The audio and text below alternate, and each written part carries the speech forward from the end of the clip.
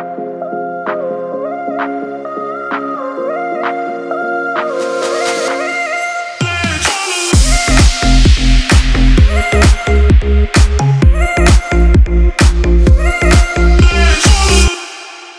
ัสดีครับ ได้เวลาของคนรักสุขภาพกันอีกแล้วนะครับ ขอต้อนรับทุกท่านเข้าสู่รายการ ถือว่าหมอขอ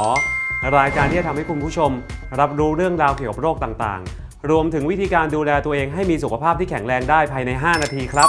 การรักษาโรคข้อเสื่อมอีกวิธีหนึ่งที่ได้รับความนิยมกันนะครับ ก็คือการกินยาที่มีชื่อว่ากลูโคซามีนนั่นเอง หลายคนนะครับอาจจะรู้จักกลูโคซามีนกันไปบ้างแล้ว แต่ก็ยังมีคนอีกจำนวนไม่น้อยเลย ที่ยังสงสัยแล้วก็มีคำถามนะครับว่ากลูโคซามีนคืออะไร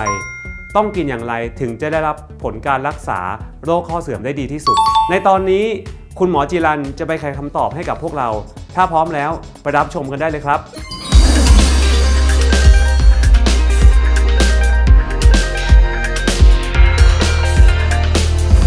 กลูโคซามีนนะครับ เป็นสารประกอบกลุ่ม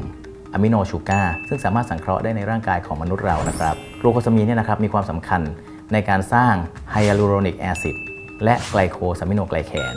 ซึ่งเป็นส่วนประกอบที่สำคัญของกระดูกอ่อนผิวข้อของเราครับสำหรับผลของกลูโคซามีนนะครับ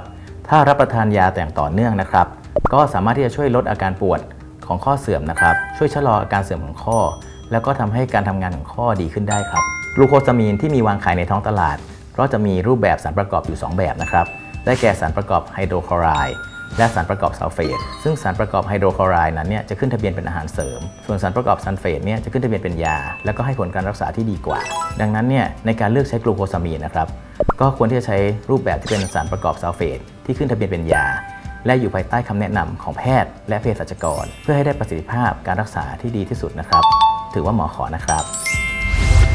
โรคข้อเสื่อมนะครับเป็นโรคที่เราสามารถป้องกันได้ แต่อย่าปล่อยให้ข้อต่างๆเนี่ย ทำงานหนักมากจนเกินไป ลดน้ำหนักตัว รวมถึงออกกำลังกายอย่างเหมาะสมนะครับ เทคนิคง่ายๆแค่นี้ ถือว่าหมอขอแล้วกันนะครับ ก่อนจบคลิปนี้อย่าลืมกด subscribe กดกระดิ่งแจ้งเตือน เพื่อไม่เป็นการพลาดสาระสุขภาพดีๆกันนะครับ ถือว่าหมอขอ สวัสดีครับ Mega We Care